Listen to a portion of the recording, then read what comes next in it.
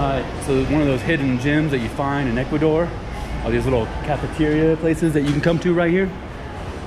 They got all kind of food, everything under the sun, anything you want, local, traditional.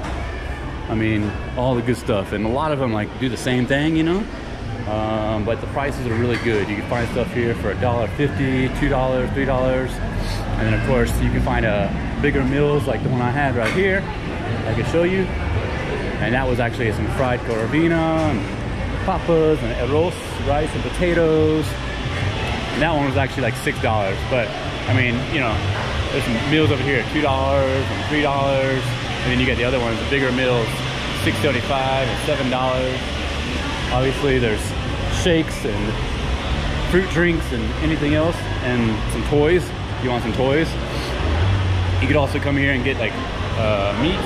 I was gonna say fresh meats, but I don't know how fresh. I mean fresh enough, I'm sure. I'm not trying to kill you or anything. So you got fresh whole meats and pig and carne and everything and hooves. So anything you want. There's some vegetables over here pretty much everything you need. Uh, it was a really good meal. My shake here was like a dollar twenty-five, and this is like right down the road from my hostel. And this is like just like a surprise.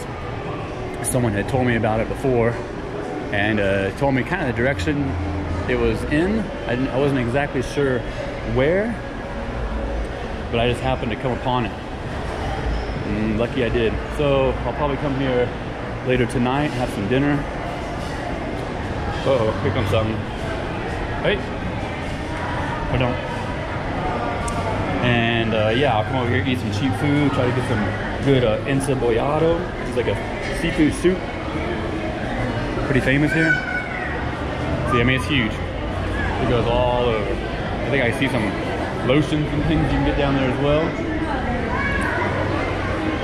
and there's not much of an entrance. I mean, yeah, there's doors and stuff like that, but there's not really like big signs that tell you what's up. So if you, you know, are a traveler you're just kind of hanging out, Tupperware, then you probably wouldn't know about this unless someone told you about it. So I just want to give you a little sneak peek of what's going on.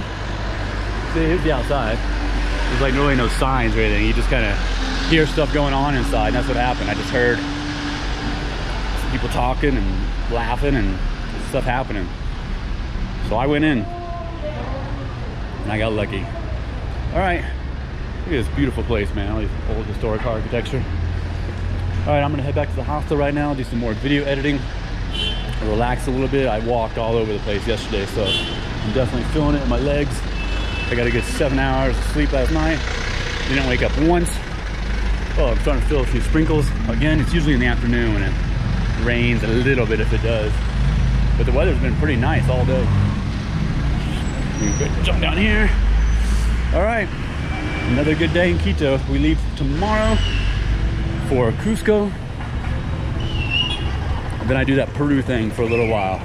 Not exactly sure how long, but I know I'll be Machu Picchu on the 21st.